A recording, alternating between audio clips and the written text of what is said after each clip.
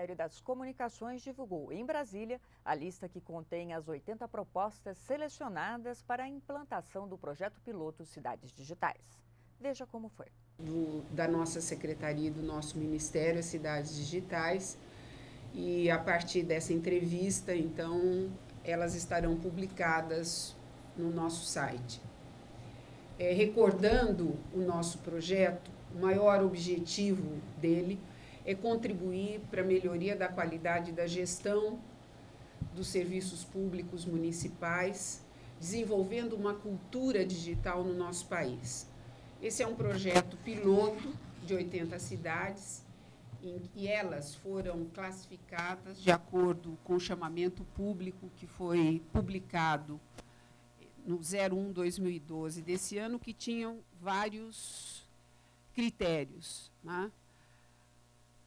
Primeiro, preferencialmente as cidades de até 50 mil habitantes, preferencialmente as cidades da região norte e nordeste, preferencialmente as cidades que estivessem a 50 quilômetros do backbone da Telebrás ou outro operador, até para que nós pudéssemos viabilizar é, a instalação dessas fibras, que as prefeituras também disponibilizassem equipes para que sejam treinadas para a operação desta rede e que tivesse o menor índice de desenvolvimento.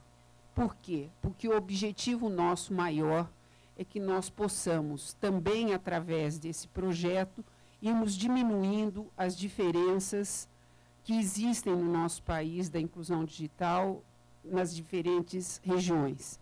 Acho que o nosso objetivo ele foi plenamente satisfeito. 61% das cidades selecionadas são da região norte e nordeste, e eu quero fazer aqui um registro, um agradecimento aos governos estaduais, através das secretarias de Ciência e Tecnologia, que fizeram uma parceria conosco, auxiliando as prefeituras a que elas fizessem os seus projetos, particularmente na região norte e nordeste, porque nós sabemos as dificuldades, particularmente dessas cidades menores, de elaborar um projeto, porque elas tinham que colocar para a gente a sua capacidade gerencial, como é que elas vão fazer o gerenciamento dessas cidades. Resumidamente, o que são essas cidades? Nesse primeiro momento, elas vão ter um anel de fibra ótica de banda larga que vai conectar todos os órgãos é, da prefeitura. Paralelo a isso, nós temos um acordo com o Ministério do Planejamento através da SLTI, que está agora até o final de julho lançando o seu edital para aplicativos na área de gestão pública e na área de serviços, particularmente na saúde e na educação, para que essas cidades, além de instalação do governo eletrônico, através da conexão dos seus prédios públicos, elas também tenham esse serviço à disposição, né, que é da, do tributário, do financeiro, da saúde e educação. O que, que nós queremos com, com a instalação dessas cidades?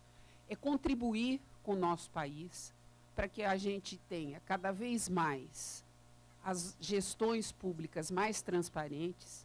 Quanto mais transparente, nós sabemos que há menos corrupção e que nós possamos desenvolver uma cultura digital. Por exemplo, se eu posso, hoje, através do, do aplicativo, por exemplo, da saúde, ter a possibilidade de marcar, por exemplo, uma consulta numa unidade básica de saúde. Nós já temos alguns exemplos de cidades que fazem isso e a gestão melhorou em muito. Se eu tenho um filho numa escola municipal, se eu quero acompanhar o desenvolvimento dessa criança, se eu quero pagar o meu IPTU, eu posso fazer da minha casa diminuindo as filas das prefeituras. Se eu quero saber quais foram as licitações que a prefeitura fez, quem ganhou. A, aliás, dando, e essa, esse trabalho vai contribuir para a lei de acesso à informação, que vocês sabem que foi entrou em vigor no nosso país no dia 16 de maio, que todos os órgãos públicos, né, tanto a nível federal, estadual, municipal, têm essa obrigação. Então, isso é um processo que não há mais reversibilidade. Então, esse é o primeiro passo que nós estamos dando e acreditamos e queremos que isso seja uma política constante, que todos os anos nós possamos fazer esse processo. Então, o que é, diferencia o nosso projeto de muitos que estão aí? Então, primeiro a prefeitura teve que querer, ela teve que apresentar um projeto para nós em cima de critérios estabelecidos de uma chamada pública que foi feita. Segundo, o objetivo maior desse projeto é a instalação do governo eletrônico. Mas não é só isso.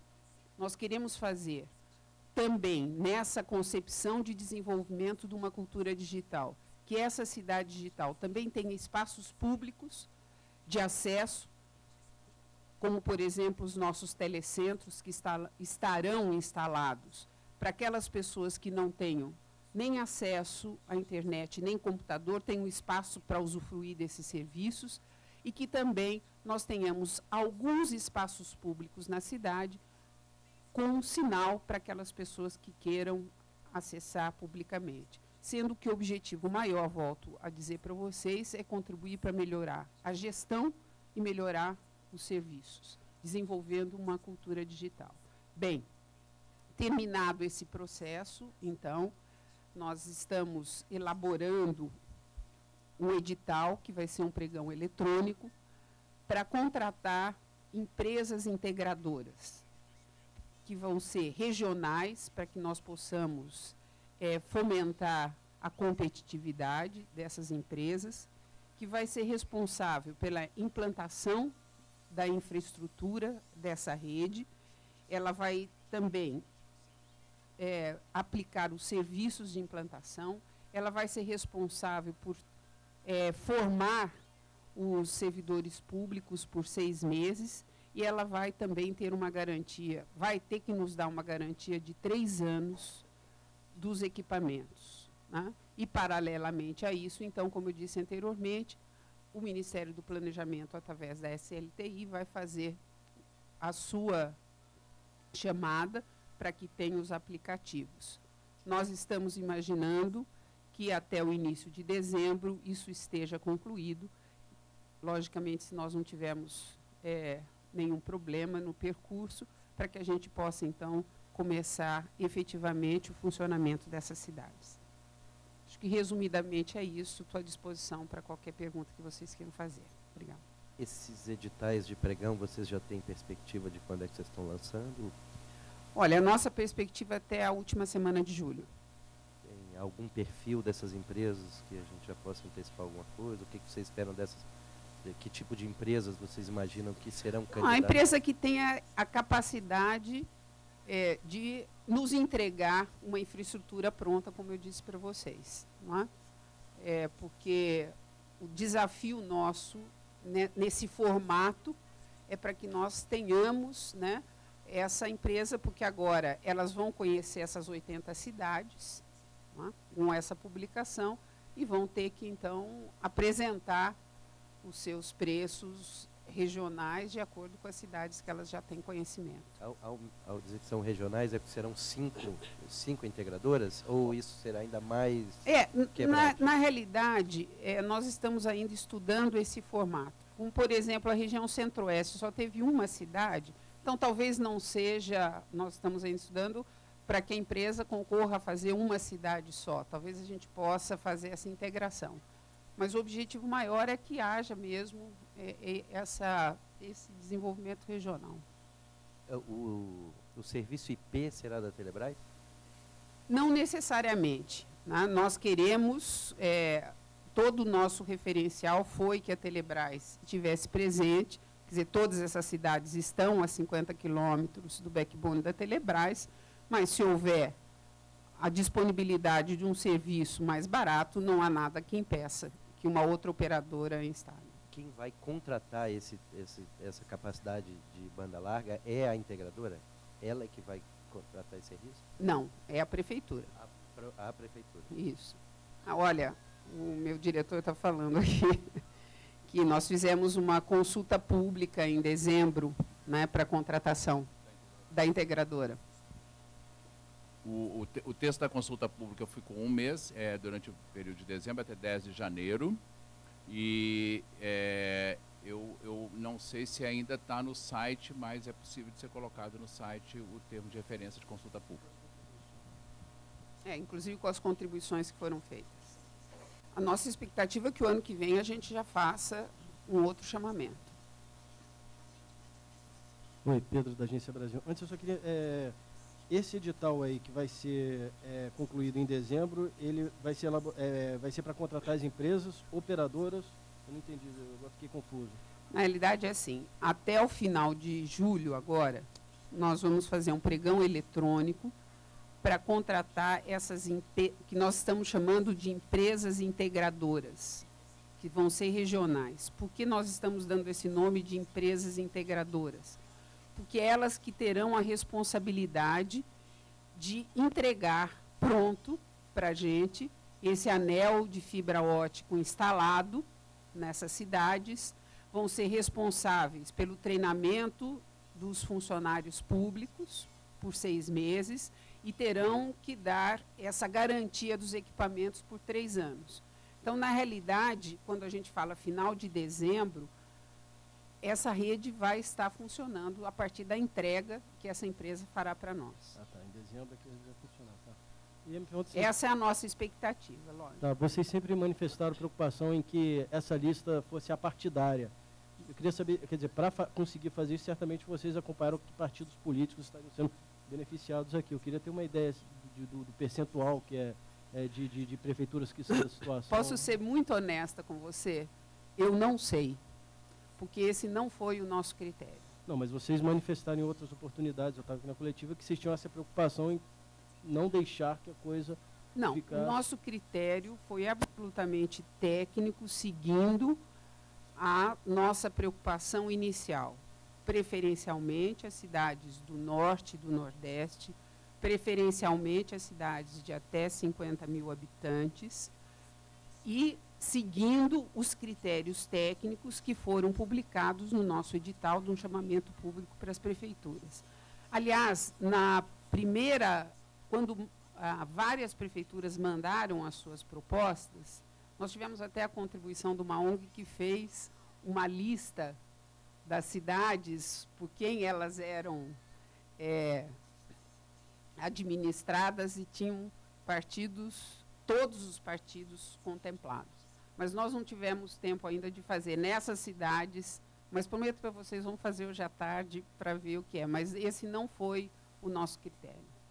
A senhora acredita que eh, que avaliação a senhora faz do fato de estar tratando de um projeto municipal durante o período das eleições municipais, a senhora acha que isso tem alguma influência? Que, que cuidado a senhora acha que. Olha, com, nós fizemos muito essa avaliação pensando de lançar esse edital esse ano ou não, mas são só 80 cidades, então é um número de cidades muito pequeno no universo é, que, que, que nós temos de mais de 5.600 cidades no nosso país. Não é? E, na realidade, esses projetos vão ficar prontos depois das eleições, né, em dezembro. Então, a nossa avaliação é que ele não vai ter um impacto nas eleições municipais.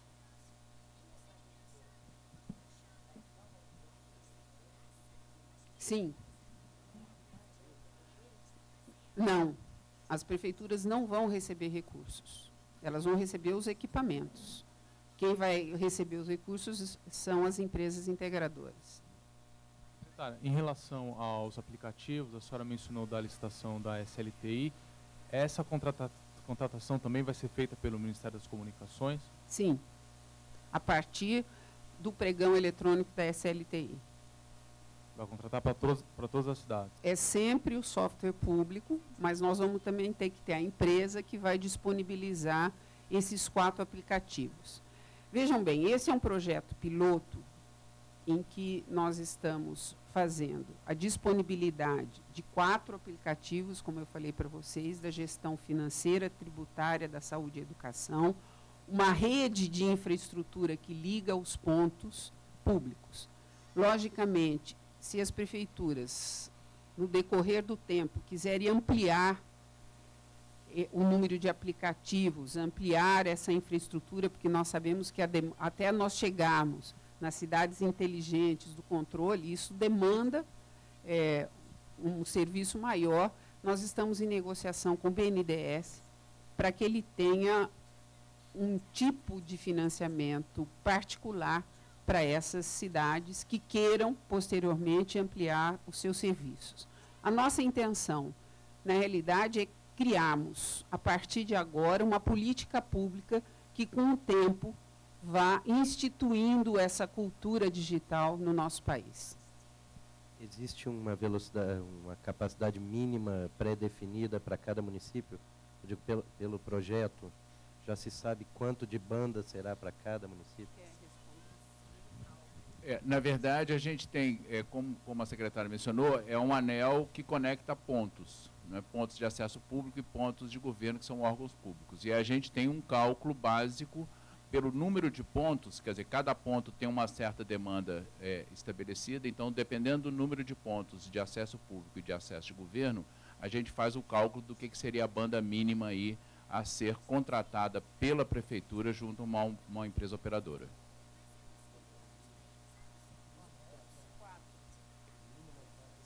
4 mega, dependendo. É, porque é, que é um mínimo de 4 pontos. É a menor rede dentro do nosso desenho é uma rede de 4 pontos, tendo 1 mega por ponto, seriam 4 mega.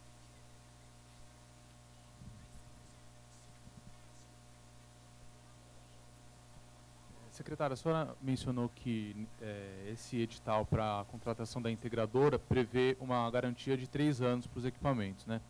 É, eu queria saber como é que está previsto, depois desses três anos, é, a questão de manutenção, de troca, de continuidade do projeto.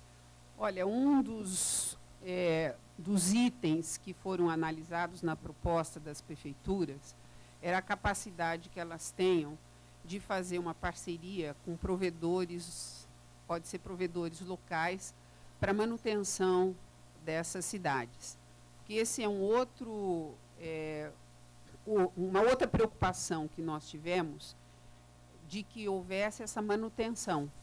Então, na realidade, a, isso foi visto nos projetos porque as prefeituras tenham, na realidade, nós vamos estimular isso, estamos conversando com os pequenos provedores, para que a prefeitura faça uma parceria, uma licitação com eles para continuar depois a, essa manutenção com recurso próprio. No caso do Distrito Federal, é, seria estrutural que vai ser contemplada com, com esse ponto, uhum. né? Como é que seria a organização para a população desse ponto de acesso à internet? Tem alguma previsão? Você fala o ponto do hotspot ou do telecentro? Do telecentro, isso. Nós vamos ver agora, cada cidade, nós temos telecentros em 98% dos municípios brasileiros. Não sei se estrutural tem. Se não tiver, nós vamos fazer um espaço público, né, no modelo dos telecentros, que, que possa ter alguém, né, um monitor, que vai estar lá recebendo as pessoas para orientá-las.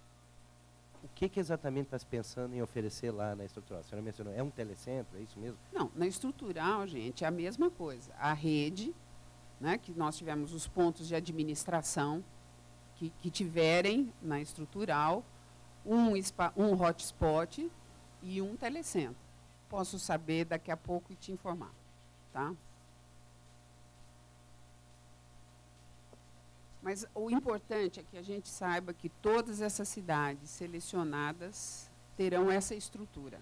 Então, a hora que, que nós falamos das cidades digitais selecionadas pelo Ministério das Comunicações, elas terão a rede do governo eletrônico, terão um espaço público, um hotspot, que aí as administrações é que vão escolher o local, e um espaço público de acesso gratuito de equipamentos e sinal de internet. Veja bem, a lógica do raciocínio é assim: nós queremos desenvolver uma cultura digital. Bem, quem tem o acesso na sua casa vai poder acessar da sua casa e a prefeitura terá que disponibilizar esses serviços. Quem não tem, tem o equipamento, mas não tem acesso, ela vai ter um espaço público para fazer isso. E quem não tem o equipamento, nem tem acesso à internet também terá um espaço para usufruir desses serviços e programas que o governo deverá instituir. Nós estamos pensando muito nos acordos internacionais que o Brasil fez, né, do governo aberto, da lei de acesso à informação. Nós estamos começando um processo. Nós temos a clareza que isso não, nós não vamos é, instituir tudo isso do dia para a noite, mas nós queremos é, dar as condições para que isso se estabeleça no nosso país. É, a senhora tem ideia é, qu quantas dessas cidades têm acesso à internet é, fornecido pela concessionária de telefonia ou por provedores locais? Não, todas elas têm que ter, porque senão nós, elas nem poderiam é, estar no programa. Não é? Logicamente, um dos itens que foram analisados é a densidade de acesso. Né? A maior parte delas tem uma baixa densidade de acesso à internet, por isso que nós estamos era um, um dos pontos que quanto mais baixo o acesso, mais pontuação elas tinham. E a, a prefeitura ela também deve é, replicar essa, essa conectividade para as casas através de parcerias com provedores ou ela própria tem que fazer isso? Não, ela pode fazer. Aí é, fica dentro da, da gestão administrativa dela. Né? O que nós estamos, nosso conceito, e nós discutimos muito isso em debates que eu tenho feito com prefeitos, né, de estimulá-los a fazer uma parceria com os pequenos provedores. Ao invés é, de distribuir sinal gratuito a toda a população, porque nós já temos uma retrospectiva das prefeituras que estão fazendo isso, tem problemas depois por causa da banda, né, porque num primeiro momento que você oferece o serviço gratuitamente, as pessoas, por exemplo, acessam o e-mail, mas logo depois elas querem passar, abaixar um filme e é, a, a disponibilidade de banda é infinita. Né?